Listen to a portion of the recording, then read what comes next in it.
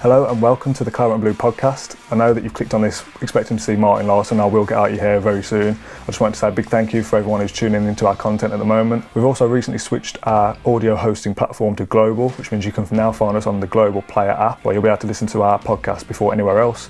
However, if you do listen on Apple Podcasts or Spotify or even you're watching on YouTube, that won't change. It's just that we're now available in an additional place. So if you want to go and download the app, you can do so by clicking the link in the description. Obviously, we're all in lockdown at the moment, and Martin Laursen happens to live in Spain now, which is new information to me. I always thought he was in Denmark for some reason, but that obviously means that we're speaking to him over Skype. So there is a few little connection issues and things like that. The quality isn't the, the usual standard that we would usually strive for. However, it's probably better to have lower quality, higher quality content than high quality waffle from me, Mat, and James. So if anything, it's probably a good thing. Thank you very much for sticking with us and uh, enjoy the episode. I was I was happy with everything. I just wanted to leave AC Milan and come to, to Aston Villa and play in, in the Premier League. To do a training session on the Monday, on the Tuesday, I had to take painkillers. And that was where I thought that okay, no, this is this is not right. Aston Villa for me is my club. You know, that's uh, that's where I have my heart. But I remember after that meeting at the Villa Park that I was uh, I was in shock. I cried a bit as well. I remember Martin O'Neill was uh, a great a great leader in the sense that um, that he he was a winner. When he was at his best, John Carew, he was unstoppable. It must have been very difficult for uh, for the other defenders that played against him I was in the shape of my life uh, when I had to stop. I played the best football of my career, so that was that was what made me sad. If I start doing something here, if I start to to prepare, I would obviously consider Aston Villa if uh, if they needed me someday.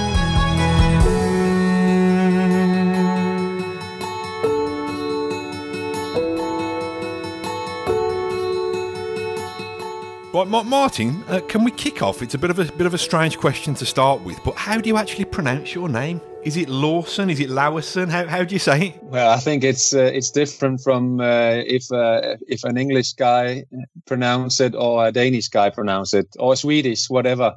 But uh, in Denmark, you say Martin Lawersen. Lawersen. Lawersen, but in in English, I mean it's Martin Lawson. That's that's fine.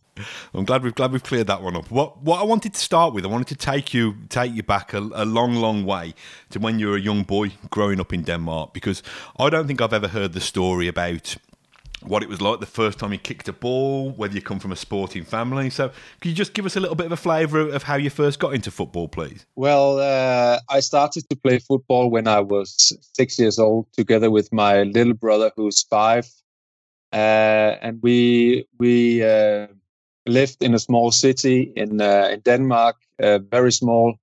Only 1,000 uh, people lives there and still lives there. Um, and uh, we started uh, playing football together with my dad uh, as a coach.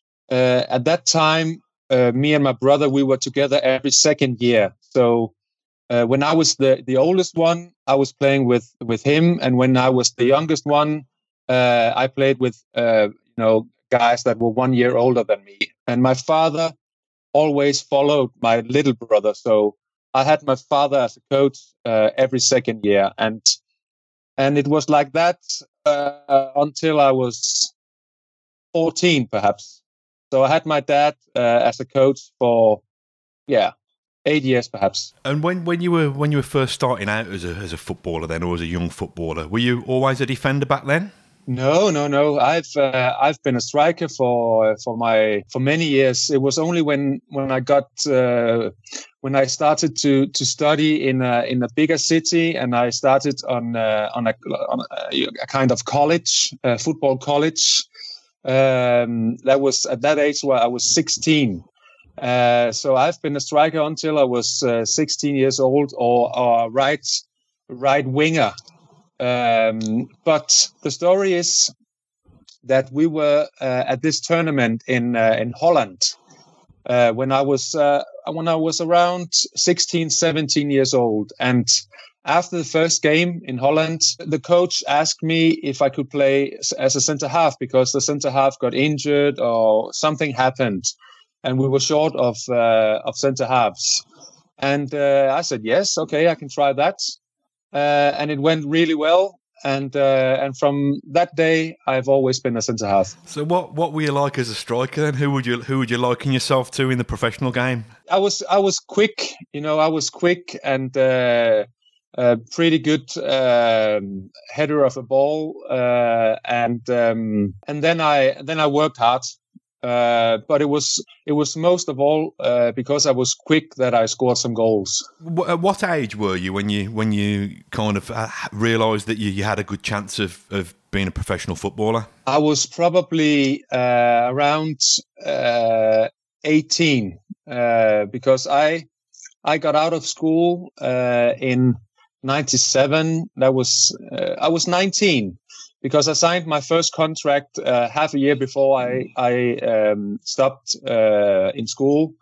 Uh, so I was I was 19 years old, and uh, before that, before that, I wouldn't say that that uh, that I had a chance of becoming a footballer. It, it, the the the nice story is actually that in my team, there were seven players, uh, together with some other players uh, from the the uh, older team and the senior team that uh, that were selected to train together. And uh, I was not among those seven players, you know, the seven best players. Uh, and that I was very sad about, but um, that kicked me off a bit as well, because I thought it was wrong of the of the coach not to select me in that group um, but uh, it it turned me on a bit. I mean, I, I wanted to prove him wrong, and um, I was I was I, I, would say I was 18 at that point.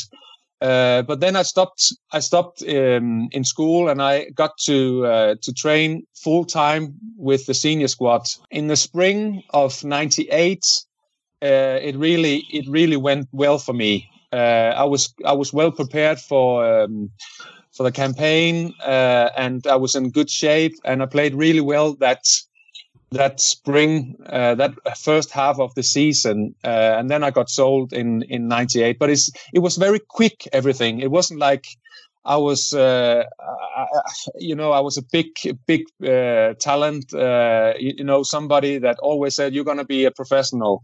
Uh, also because I was, I was playing in my small town, my small club until I was 16 and I was a striker and I went to Silkeborg as a striker. And then it went it went really quick at uh, at uh, at the time. Um, so it was only after half a year playing with the first team that uh, that that I could see, you know, this is uh, probably this is good. I can perhaps be become a, a professional footballer. So what what jobs did you did your parents do then, Martin? Do you come from a sporting background at all? Oh yeah, but uh, my my dad has always played football, and uh, like I said, he's been my coach uh, for for some years uh, in the beginning. Uh, he likes football as well. My mother knows she she played a bit of handball, um, but my my my brother and I we've always been very much interested in in sport. I've played uh, badminton, table tennis, tennis as well. always always uh, was very interested in in sport. Um, but football, when I become when I was 16, was the most important thing. So, what do you think you would have done for a job if you hadn't have been a footballer?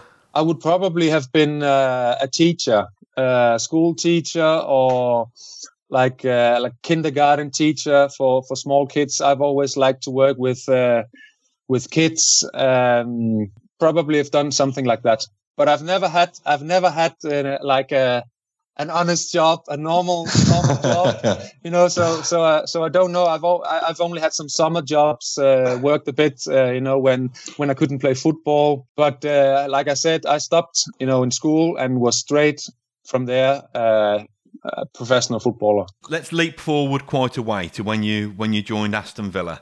Can I ask what were your what were your first impressions? It would have been Doug Ellis and David O'Leary, wouldn't it? Back yep. then.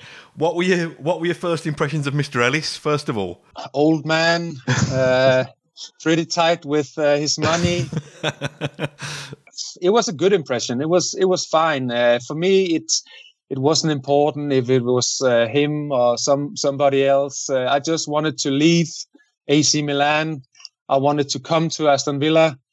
Uh, I obviously wanted a, a, a, good contract, but that was up to, to my agent. First of all, I wanted to come to Premier League. After some conversation with uh, O'Leary and uh, after I saw the stadium, the training ground, it wasn't the old, uh, it wasn't the new training ground. It was the old training ground, but still was fine for me.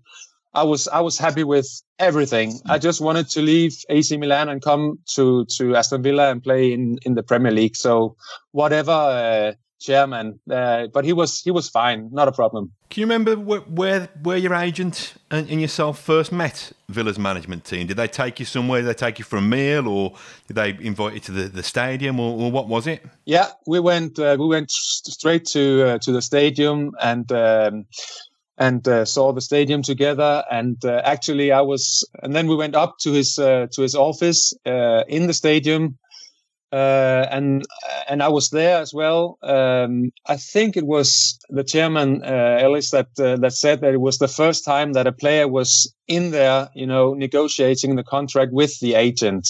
He's never tried that before, but I I I, wanted to be there, and we had a talk with uh, Doug Ellis uh, there at the stadium, and um, it wasn't a problem. Um, he he said something I, I uh, that was fine, or we agreed something, whatever. But uh, it was it wasn't uh, it wasn't a difficult uh, negotiation. It was um, it was pretty straight on and and fine for everyone. Can you remember the first Aston Villa player you met after signing for the club? And, and, and as part of that question, who became your best friend amongst the players? to be honest, I can't remember the first player that that I met, but I remember that we went to the training ground after, and I I went around and and said hello to uh, to the staff and to everyone working there, and probably also met some of the players, but I can't remember. Uh, but my best friend, uh, obviously, become or became uh, Olof Mellberg.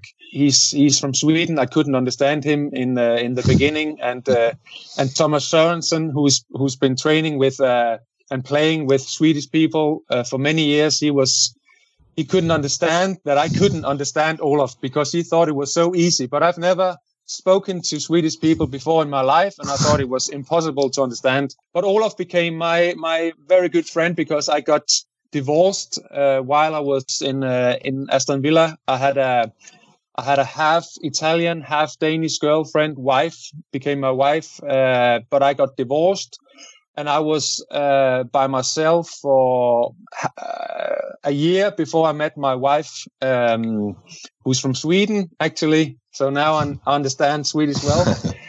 but I, I, I came very much um, in Olof's house uh, together with his wife uh, uh, Carolina and their two kids, and uh, I was very very much uh, with with them. And uh, Olof and I we we become became very good friends uh, and are still good friends. Um, that that day today. That's really interesting you're saying about Olof helping you through kind of a difficult time in, in your personal life because we just imagine that, that footballers have a kick around, you know, on, on a Saturday, train together and then just kind of, it's all kind of lad and banter rather than actually you know, supporting each other. So those kind of fr- friendships last last a lifetime, don't they, Martin? Definitely, definitely. It was, uh, it was, you know, we had the same humor. We we clicked, we clicked uh, together, uh, me and Olof, and spent uh, a lot of time. Uh, always when we played together uh, in the dressing room, after the dressing room, because, like you say, normally,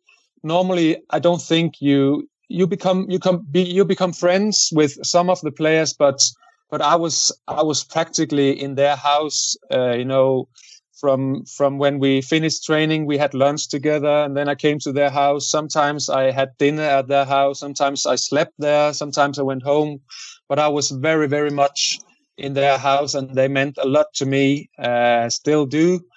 Um, so he was a big help uh, the, the, wife as well carolina was a big help uh, for me in that pretty uh, tough period uh, of time. You know, uh, divorce is, is never nice, even though we were both happy that it ended. Uh, that's another another story, but but everything went well went well uh, after that. Did Olof introduce you to, to your new wife? Yes, it's uh, it's Olof's wife's cousin. I'm I'm married to that day today, so that's a that's a nice uh, story as well. Uh, best best friends, uh, Carolina and and Mia uh, is my wife's name, uh, and cousins. Uh, they've known each other for their whole life, and um, yeah, the story is that Mia came over to to see Carolina, and obviously I was I was there, and yeah, we we became.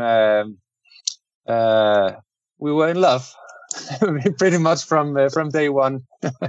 I didn't think we were going to get a romantic love story today, but uh, uh, I appreciate that. Can I ask, when you first moved to Villa, what was the medical like, Martin? Were, were there any? I mean, we'll get onto your injuries in a moment, but were there any signs of injury when you joined Villa, or did that come later? I've had some problems with my knee before that, uh, when I was at uh, in Verona, but I played three years in AC Milan without having uh, any problem. So it went, it went, uh, it wasn't a problem. It was, it, it was straight, straight ahead. Uh, but then the problem started when um, O'Leary and his staff uh, staff wanted to uh, do some heavy weights uh, for for my legs, and that was probably good for some players, but my knee wasn't good at that it was it was fine, but it, I couldn't do all that heavy weight training for my legs. Uh, my knee wasn't strong enough uh, for that, and that was what that was what happened. You know uh, that uh, I got a I got a bad knee after that. I I, I shouldn't have done that, uh, but I wasn't I wasn't strong enough uh, to say no. I can't do that because I just wanted to do what what they say, and I was very humble. You know, uh, when I came to Aston Villa, I didn't want to create any problems. Didn't want to say that I couldn't do that, I couldn't do this, and so I, I did. Even though I thought probably this is not so good for my knee. I remember I thought, but still I did it. Uh, but um, uh, looking back, looking back, it was uh, obviously wrong, and that was uh, what that was what kickstarted my my knee problems uh, in the first period of time at Aston Villa. What were they trying to achieve with these extra kind of knee weights then, Martin? What surely you, you're a big, strong, athletic guy anyway. What what what were they trying to bring to your game that you did, you didn't already have? Some uh, some power. I think they wanted to to to bring some power. I think weights for the legs are fine. Uh, and like I said, some for some players it was probably okay but uh, for me it was too much. Uh, it was like you you had a lot of weights on your shoulders and and on that machine and you you bend it down and had to push up quickly to put some power into your legs.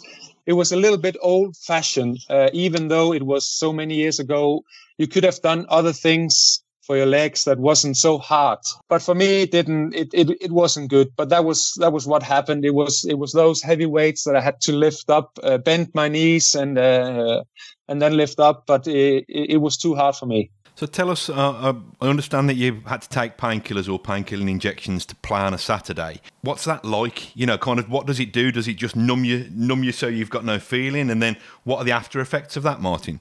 Uh, no, I didn't. I, I always only took uh, pills. I, have never had injections uh, to to to play a match. Uh, but but it's quite it's quite normal that football players they can take a painkiller uh, before the game. You don't have to, and uh, and there are many players that doesn't that don't do that. But some some I know some some players they can take a painkiller to uh, not because they have big problems, but they can like Baresi. I I've heard Baresi, Franco Baresi said, you know, you always have a little bit of uh, discomfort, a little bit pain there, whatever, but you can play a match. And for me, it was the same. I could take a painkiller, but the the real problem came when when I played the match and when I came to train Monday morning, it was very sore still, very painful.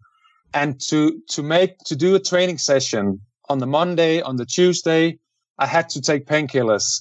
And that was where I thought that, okay, no, this is, this is not right. I, I don't know. I, there were probably somebody from before that, uh, that said to me that you can take a painkiller for the match, but you have to be able to train without any problems, without taking anything. Otherwise, you have a problem.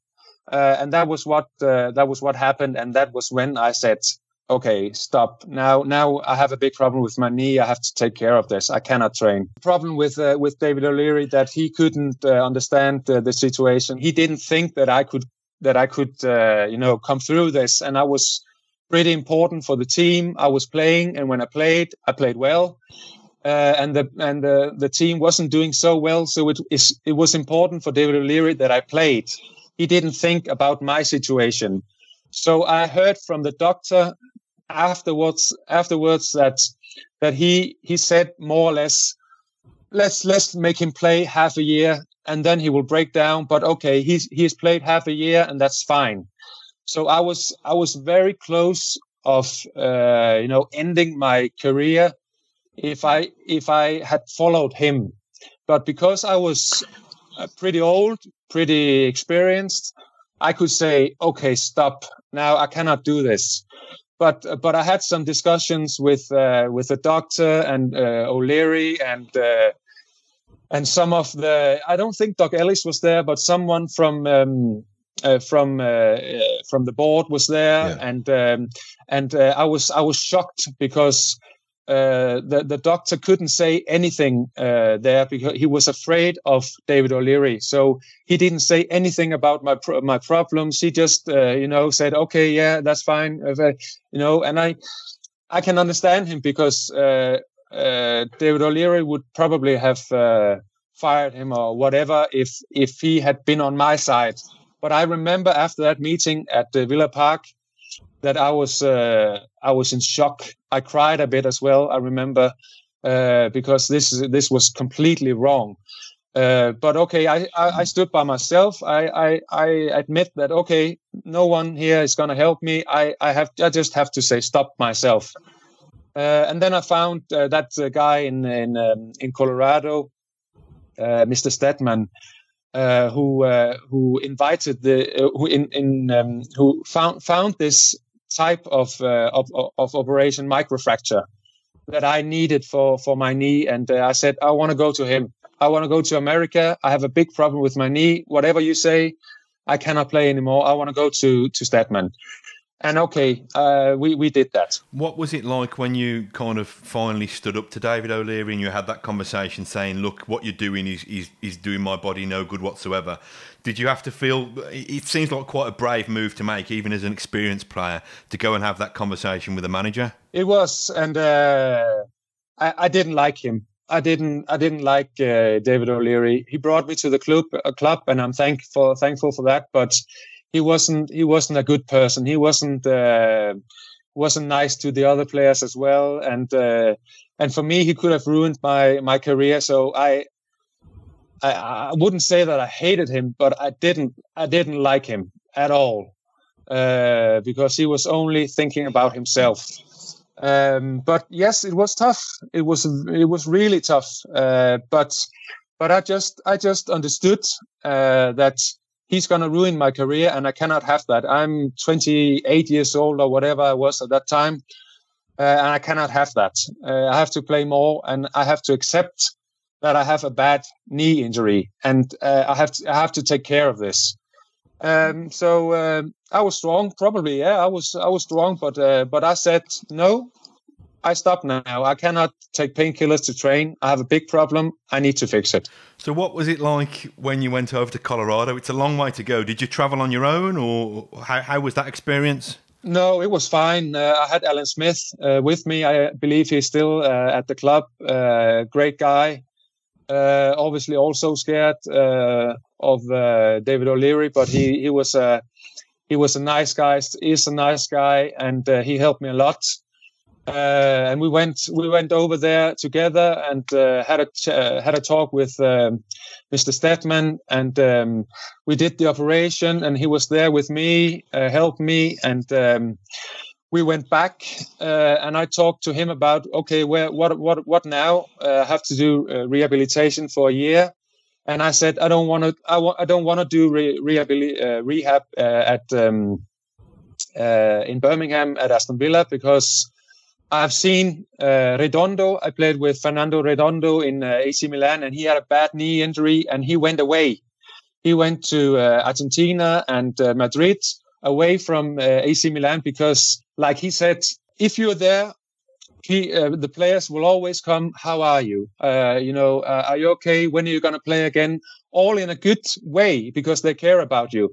But but it's it's annoying. It's irritating when you know when you're working and you have 20 players coming and always asking you questions and put a little bit pressure on you. So I decided, no, I want to go away. Just focus on the on on the rehab. Be together with other injured players that doesn't that don't you know uh, ask questions so I went to Bologna and I was there for, for nine months. Very tough time, but uh, it was it was still great because I could only focus, you know, on on coming back uh, stronger than um, than ever. And Richard Steadman's the best in the business, isn't he? He is. Yeah, he invited that. Uh, no, not invited. He found, you know, um, that uh, special technique that it is uh, a microfracture um, so, um, and like he said to me after the operation, it went well. Uh, everything is well, but it doesn't it doesn't matter anything if you don't do your rehab good. Uh, I give you 80% chance of coming back, but you have to do your rehab as good as you can because otherwise it doesn't matter how good an operation it was. You have to do your rehab well. Uh, so I stayed very focused uh, in Bologna and I worked twice a day. And um, I came back to Aston Villa and I felt really strong. Were there moments during the rehab where you thought it was going to be too tough, Martin? No, not really. I, I, I wanted to give it a chance because I remember I said to myself uh, that I couldn't look myself in the mirror. Uh, mirror if it didn't uh, went out well. I want I wanted to look myself in the mirror after and say, okay, I can accept that I cannot play football anymore, but at least you've done everything that you possibly could. Then I could accept. I could accept. I would have been sad and everything, but I could accept that I couldn't play football anymore. I couldn't accept that I couldn't play football anymore if I just, you know, uh, I don't want to do this. It's this too hard, and uh, okay, I, will have a day off or two days off or whatever.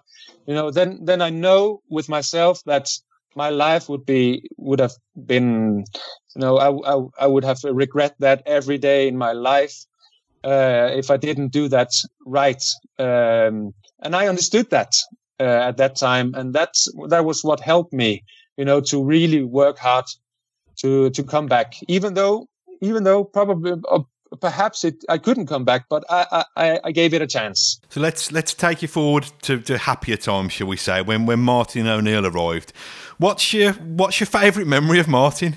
Martin O'Neill loved me.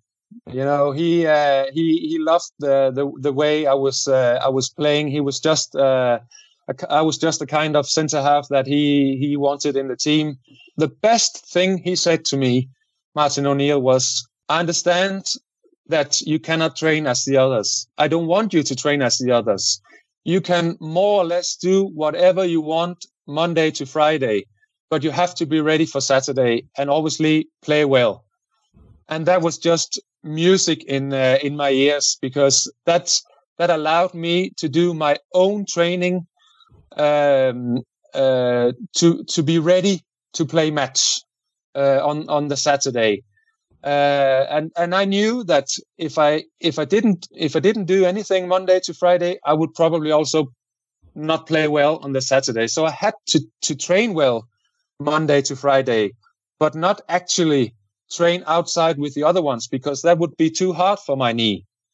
So I, I was I was many times I had some days off uh, during the week where I did my I did my exercises in the in the gym I relaxed and uh, I did some special training for for my knee, uh, and that allowed me to be ready to play match again one week after uh, on the Saturday, and that that was that was my best uh, memory of of him saying that.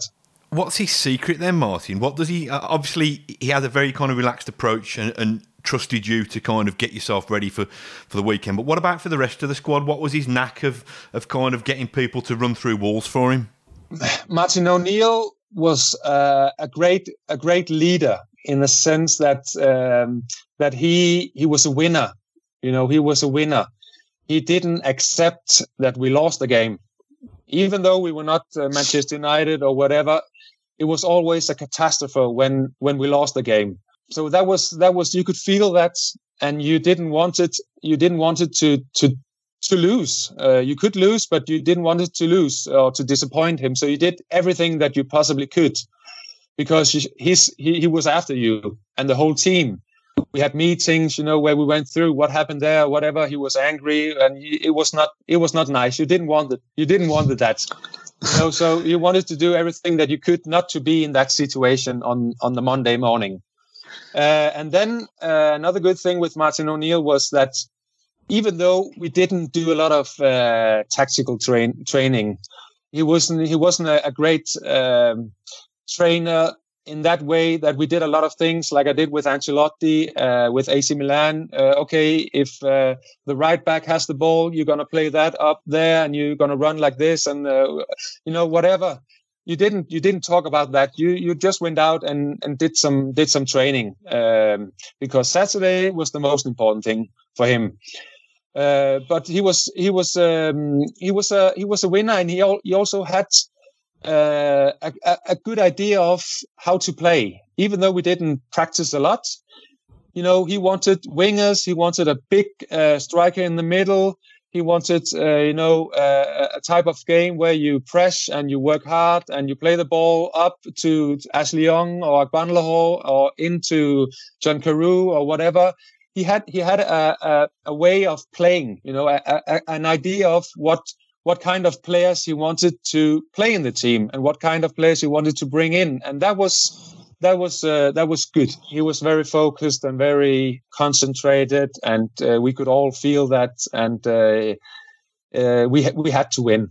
We had to win because we could see that it was uh, important for him. Can I take you to the 2007-2008 season, which was obviously the season where I think it was probably certainly the best season of your Villa career, possibly the best season of your career. Full stop. Definitely, definitely. Am I right in thinking that for most of the season it was either Olof or Zat Knight who were your partners that that year? Yeah, uh, I believe that Olof played a lot uh, right back uh, that year. So I played uh, many games with Zat Knight or Curtis Davies, as uh, I remember.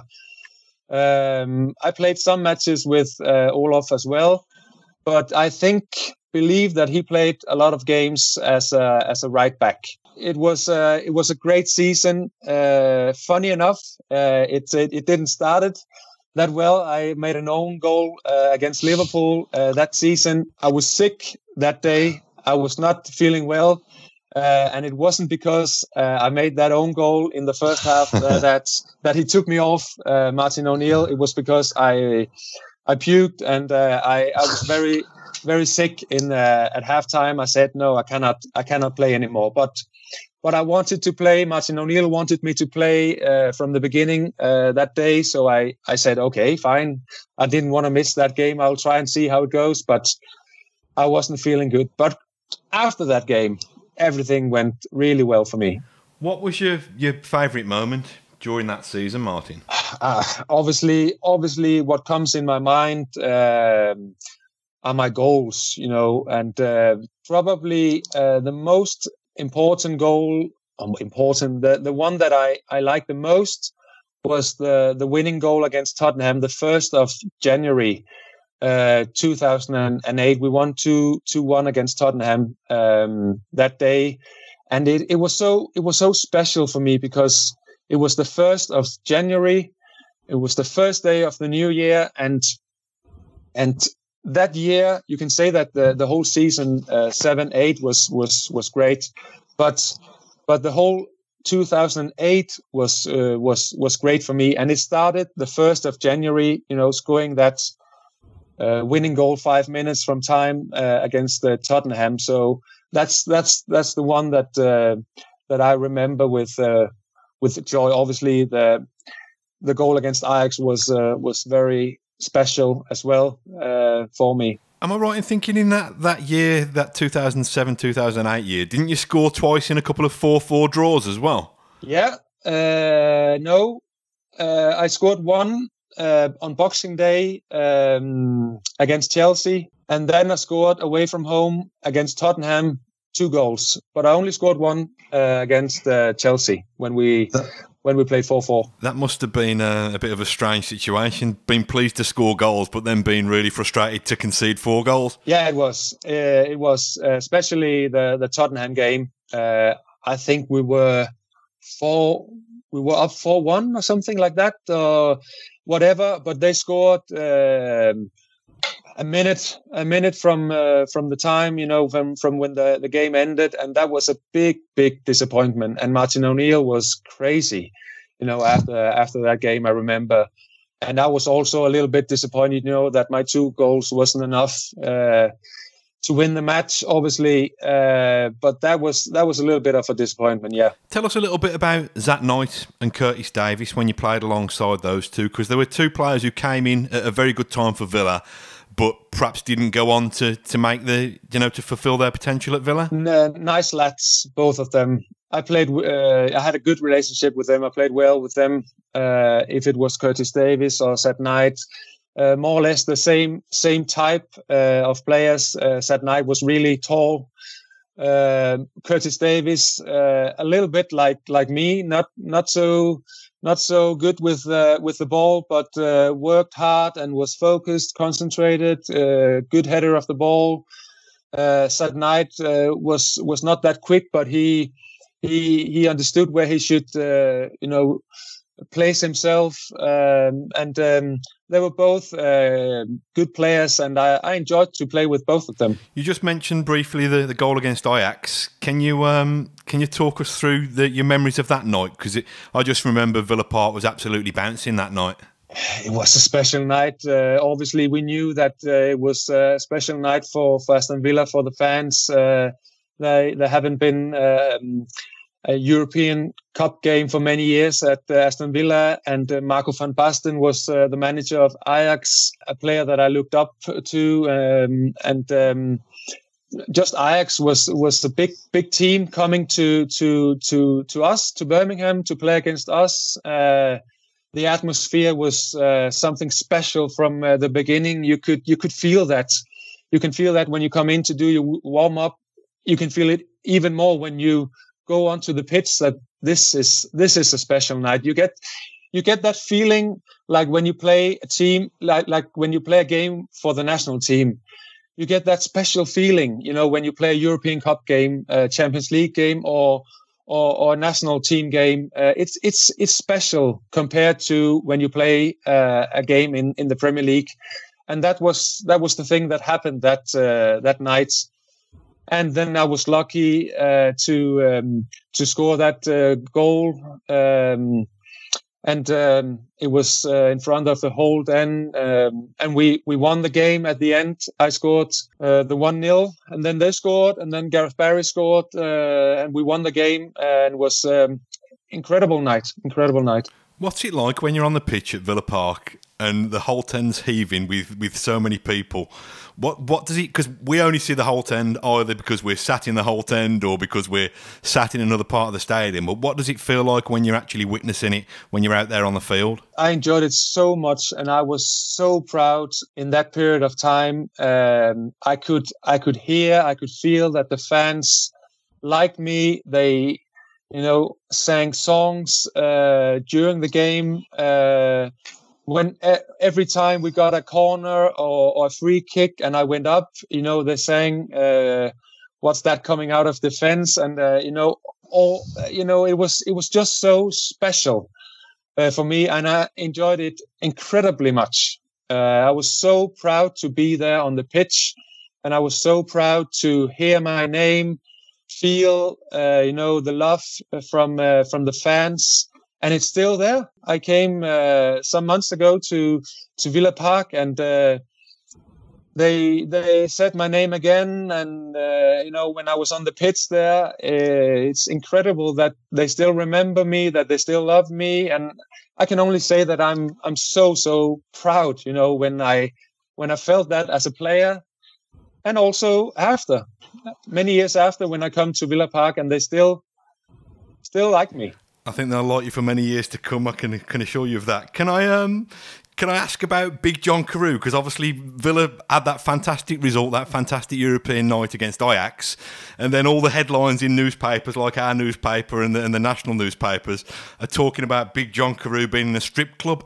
Does that is that just typical John? A little bit, yeah, a little bit. He. Uh you know he he's he's a little bit uh, special in in a good way you know because uh, he was uh, many times in uh, in London uh, at these uh, fancy parties, and he showed us pictures every week. He showed us pictures with some girl that he's been with or met or or like a famous person or whatever. I mean, he was he was single John in the the whole whole period of time, and he liked you know to go out to parties, and uh, th- that was the that was the the the way he he was, and perhaps still is. Uh, that, that was just the way he he is, you know, and. Um, fine. Uh, he wanted to live his life uh, like that. I, am not that guy at all, but uh, it was it was always fun to to see the pictures. Uh, you know, after uh, some day some some nights out, you know, and um, he's he, he was a good guy. He is a good guy, John Carew. What did the players say to him the following day when he got himself in trouble? they were just laughing. I think, you know, typical typical you, John.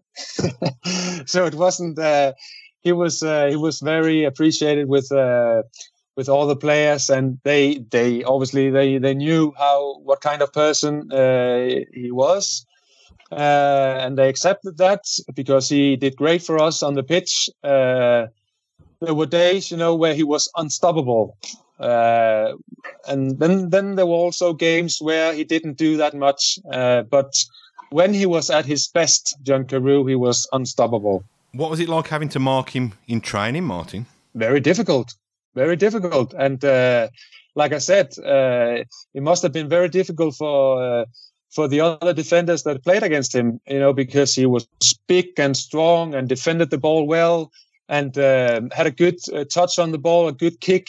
Uh, very difficult to to win headers against him because he was so big and tall. Um, so on his good days, he was, like I said, really, really a handful. Can I ask you what your funniest moment was at Villa when you can just kind of recall somebody did something stupid in the training ground or told a joke or just just something that kind of had you had you creasing with laughter? Me and Olof, we we we laughed uh, a lot, uh, you know, um, of what uh, Ashley Young and Agbonlahor did. they were crazy young young kids uh, at that time. Uh, did uh, nice, nice, nice lads, but you know, did what they wanted and paid a lot of fines, you know, for doing things that they didn't, uh, you know, had to do or whatever. So we laughed a lot, you know, um, of what they of what they did. But I, I can't remember. I can't remember a special occasion uh, that I that I that I have in mind more than others. But uh, those two were, were very funny together. Always joking and doing things together and. Uh, you know, just doing crazy things together. They were they were young, you know, at that time, and me and Olof, we we were not like them, you know. Uh, probably not also as a as a person, we were not like them, but we could still see the funny thing, you know, they did. Uh, it was just the way they they they they were, you know. Uh, they they were very individual and uh, creative, and you could see that on on the pitch as well. When the injury came through, would it have been halfway through 2008, 2009? What was the what was the first sign that you got that that injury was back and that this time it kind of might be more trouble than before? I remember it like this: that uh, just before Christmas we played a game, and uh, I got I got problems with uh, my knee. I was out for the Christmas period I cannot remember if I had a small operation there uh, on my knee, but uh, I know that I came back for the West Brom game uh, in the beginning of uh, of January uh, 2009, and uh, after that game and during the game, I didn't feel good at all during that game. But I trained um, well before the game, and I felt okay for the game. And then I played it, and it didn't feel good. And I said to Alan Smith after the game, this is not good. Uh, this is not good. My knee is not good. And then I believe that I went to to London um, and had a small injury, a small uh, surgery or, or something. Uh, but I was out for, for some months during my, uh, did my rehab, um, and I remember that we went to Dubai in April or something, uh, and I started to run more seriously. Uh, and I did some football training, and it flared up again, uh, my knee, and it it didn't feel good. So I had to decide more or less what to do then, because I could I could see I could feel that my knee needed surgery again from uh, from Dr. Steadman but he gave me only 50-50 uh, chance of coming back because I, I did some other things with my cartilage on the outside of uh, of my knee before that. So my my right knee, that was the problem now, wasn't in a in a good shape. So uh, he couldn't give me a good chance of coming back. It was it was more or less like 50-50 do you regret that you didn't didn't try and take that chance, Martin, or is it something that you just have to get on and look at? You know, you've got a long life ahead of you after football. Do you think you made the right choice to to protect your kind of legs and your mobility going forward? It's very difficult because uh, many years after I, I, stopped playing football, I said uh, that that was the that was the best decision uh, because because I was uh, I was feeling good after I didn't have I didn't have any problems. I could have a normal life, uh, play a little bit of football, you know, run, go up and down the stairs without having pain. But I don't know if it was uh, the right decision. Uh, I don't regret it, but uh, some days, some days, I I I can not regret it, but I can imagine me say, okay, I'll I'll I'll do whatever I can to uh, to to come back uh, and uh, again. But no, I don't I don't regret it. Uh, but obviously, it would have been nice to come back at 33 and perhaps play two or three more years. Uh, but but I don't know if if if if it would have you know been like that no but what i'm what i'm really sorry about is is that it uh, is that i i got those problems because i was i was in the shape of my life uh, when i had to stop. I played the best football of my career. So that was that was what made me sad uh, and and still i can i can see some football games and imagine me you know being there and uh, and um, and i would have loved to to have played more. But uh, at at that point and still now, I I'm happy with what I did. Uh, my career was good, but uh, three or four four more years as a captain playing for Aston Villa would have been fantastic. Because I think you had a brief a brief spell uh, as a coach in Denmark. Is that still something you have the ambition to do to to become a coach or a manager? I like I, I I love uh, being being a coach. Um, I um, I I love to to stay with people.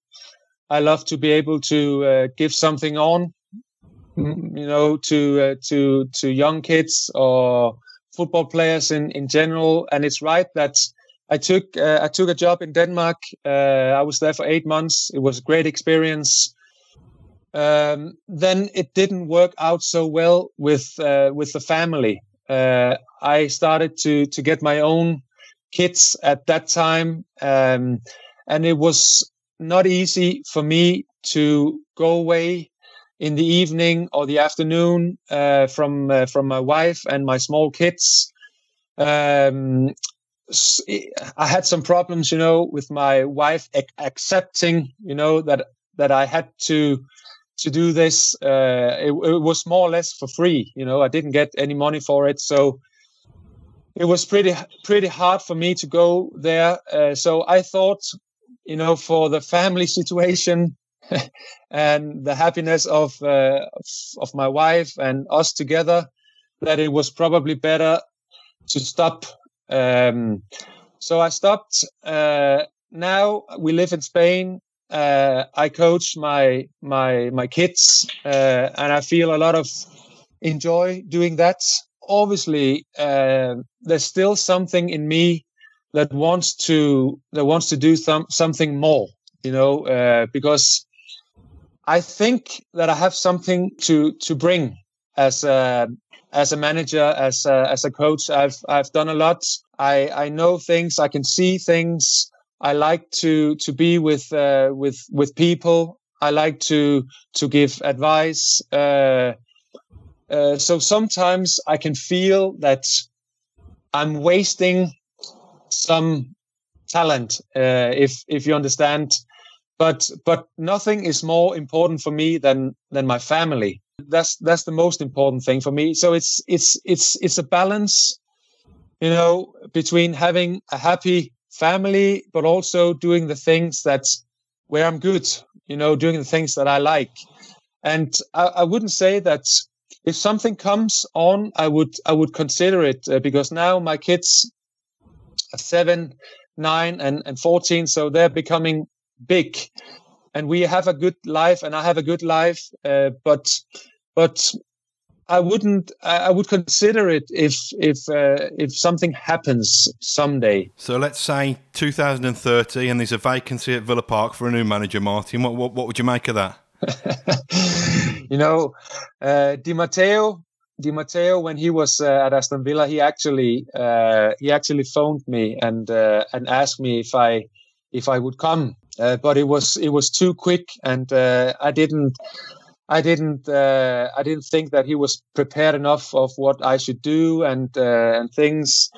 but it, and it didn't went well for him. But um, but I, I, I had a chance to come to Aston Villa uh, at that time. I didn't I didn't take it because I didn't think it was right at that time.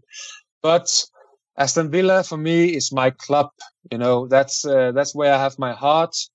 Uh, I can see that people like me. Uh, so obviously, if if I start doing something here, if I start to to prepare, you know, for for for a big job, I would obviously consider Aston Villa if uh, if they needed me someday. Every time a manager's sacked at Villa Martin, there's always the get get Martin in, get Olof in. Be quite the, the, the dream team, wouldn't it, if you and Olof came back as a as a as a management duo? That would be something nice. Olof Olof Olof is having uh, uh, a good career at the moment. He's he's done well as a manager uh, in a club uh, in Stockholm. Now he's with uh, Helsingborg in uh, in Sweden, and um, they couldn't start because of the this Corona thing. But uh, he's very serious about the the football now, Olof. Um, so you never know. Maybe someday we'll come. Oh, I can't tease us like that. Um, can I just ask what what are you? Well, I know what you're doing now because the whole world is in lockdown at the moment, so I presume you're not doing a great deal. But what is it? How how are you spending your time now, Martin? Is it is it family life? Is it the coaching of your kids? Do you do any kind of punditry or any work like that at the moment? No, um, we we decided to go uh, and live in Spain uh, two and a half years ago, just to to enjoy um, Spain, enjoy the the nice weather, enjoy some quality family time and we have a we have a nice life here in uh, in in Spain. And um, obviously, I I need to do something as well. So I I coach my my two boys. Uh, so I have uh, four trainings a week plus two games, which keeps me occupied, and I feel that I give something. And I stay with my kids, and uh, I enjoy the football training, and it's nice then obviously uh, it's a golf paradise here. I play play also some some golf, but most most of all, I'm I, I have a lot of time with my kids, and that's uh, the most important uh, thing for me. I don't do anything with the media uh, right now. Um, I did that a lot after I stopped playing football, but I've always felt that it was uh, it was the coaching thing that that I enjoyed uh, the most. Most not not speaking football, but uh, but uh, but coaching football. So so I I enjoy that more. So I wanted to do that uh, instead of speaking football. But but we're here and um, and uh, now it's uh, it's a complete lockdown here in Spain. It's uh, it's very boring. We we have a, a garden where they can play some football and they can have some get get some air sometimes, but but there are families here in Spain that live in a very small apartment with uh, no chance of of coming out. And uh, and it's very hard for for the families for the kids uh, in this in this time. Um, but but okay that's that's how it is. Uh, it's still locked down here until the the 9th of May. Uh, so it's it's tough. Um, but we we are in a good situation uh, compared to many many other families. Obviously, when you were coming, when you were playing under Martin O'Neill, a lot of your training would have been done indoors anyway. So, what what kind of advice would you give to, to footballers who are trying to keep themselves ticking over on treadmills and and and rowing machines and exercise bikes? I suppose there's a different mentality about it, isn't there? Yes, and that's that's where you have to that's where you have to think because it's it can be it can be really hard to do your training if you don't have a purpose. If you don't if you don't think about what why am i doing this training? Where is it going to end? Uh, and and the players that are in this situation have to think that i do this training so i can come back and and be ready to to play or not ready but be in a good good state uh, be in a good situation so i can quickly come back and play well because you always have to think about the more you do, you better it is. And that was that was the same thing that I did or thought when I was doing my rehab. That you you're not doing it for for the manager. You're not doing it for for your mother or father. You're doing it for yourself. You're doing it to to, to be be prepared uh, as good as you can to play well. So you you have to think about I'm doing this for myself. I'm doing it so I can play well when I come back. And if you, you think about that, then I think you, you, you, you train better. You come, you come through better and you, and you don't just lay on the sofa and say, Oh, I can't do it today. But you have to think, well, why am I doing this? So that's, uh, that, that's, that's, that's the best advice that I can give Aston Villa players or whoever is in, in this situation. Think about why you train. Why do you train? Train to to be prepared to play games and play play well again. I just hope that uh, people don't get more sick, you know, uh, than this virus, uh, because I've heard things also from my close family, you know, depression, uh, stress, uh, you know, other things that can can happen when you're when you're in this situation when you can when you cannot move. You don't know if you have a job. You don't know, you know, uh, you know, with the money, uh, all these all these things that are in your mind. Um, but my best is, advice is to stay stay positive. This will this will pass, and everything will be good again perhaps not not as normal as it was before, but it will be it will be good again. And I just hope that everyone in Birmingham and all the Aston Villa fans will take care of themselves and stay stay positive. I think we'd echo that to, to you as well, Martin, you and your family, and make sure that you take care and, and stay safe as well. Can can I just finish off by giving you a quick Martin Laursen quiz, five questions, and see see what you can remember about your Villa career? Yeah. Right. Okay. Question number one Who was your Aston Villa debut against and what was the score? Uh, Southampton. Uh, and we won uh, 2 0. Correct. One out of one. Okay. Question two How many goals did you score during your time at Aston Villa? Uh, um, I scored six that Premier League season. Ajax, uh, 10, 11. Ooh. Oh, 11. Yeah, I've got you down. Is it according to Aston Villa's complete record book by Rob Bishop? You've scored 11, so we'll give you that. That's two out of two. Next one. How many appearances did you make for Aston Villa? Uh, I probably made something like 90. Oh, 91. Well, I think I'm going to give you that as well. That, that's pretty good, 91. So there are 89 starts and two substitute appearances. Question four What was your transfer fee when you went from AC Milan to, to Aston Villa? Three million. Three million, correct. And the final one to get a full house, get five out of five. Who scored an own goal? It wasn't you against uh, Liverpool, don't worry. Who scored an own goal in your final Aston Villa match against West Bromwich Albion? They, it was a West Brom player who scored it, so it was a goal that, that went towards Villa. Don't know. Oh, Scott Carson, that was your, your former, former former teammate Scott Carson. Well, f- four out of five, that's pretty good, isn't it? You've got a good memory. Not so, So, bad. can I just say you've been an absolutely brilliant guest, Martin? You brightened us up. It's uh, it's a worrying, it's a weird and worrying world out there for a lot of people at the moment. But I know where Aston Villa fans are concerned that you're an absolute legend, and you've you've proved that on the pitch, and you've proved that kind of off the pitch by being such a thoroughly good bloke as well. So I just want to say thanks for your time and, and wish you and your family all the best. Stay safe. Always a pleasure. Stay safe. Cheers, Martin. Cheers. Thank you for listening to Claret and Blue, an Aston Villa podcast. If you enjoyed today's episode, then please let us know. We love hearing your feedback. We'll be back soon with another episode. Until then, up the Villa.